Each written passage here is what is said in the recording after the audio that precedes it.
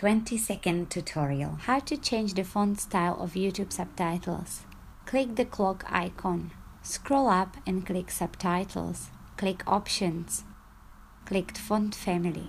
Select the font style desired.